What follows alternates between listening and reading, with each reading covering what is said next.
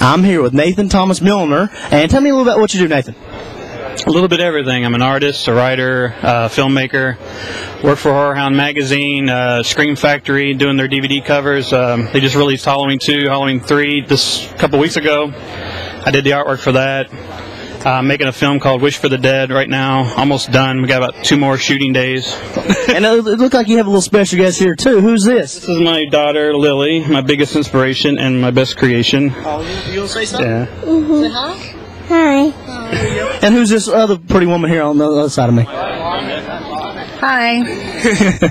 I appreciate you talking with us, Nathan. Thank you so much.